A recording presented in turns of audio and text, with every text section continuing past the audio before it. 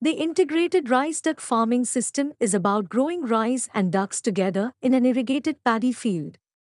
The paddling movement of the duck stimulates plant growth, while duck manure naturally fertilizes the soil. The ducks also eat harmful insects and weeds, thus eliminating the need for pesticides and herbicides. Hi friends. Welcome to the Discover Agriculture YouTube channel. If you're not yet subscribed to our channel, please subscribe now. Based on the experience of more than 1,000 rice duck farms in the Philippines, it has increased rice productivity up to 9 tons per hectare, while reducing the cost of production by 30%.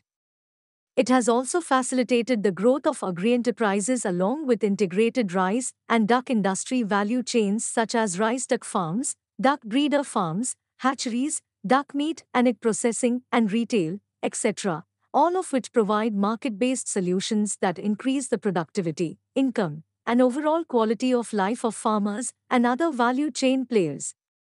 Duck eggs stay fresher longer due to their thicker shell, they are also richer in albumin and contain more omega 3 fatty acids. People who cannot eat chicken eggs due to allergies can often eat duck eggs.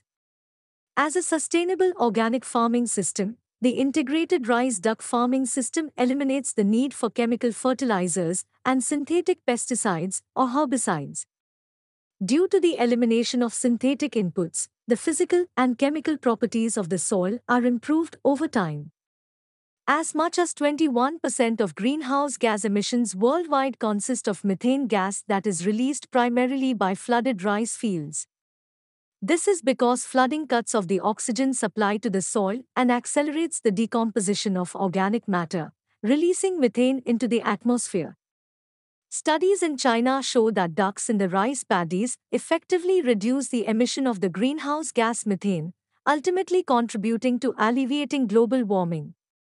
80 to 90% of the female ducks lay one egg each day, which is sold every 3 to 4 days.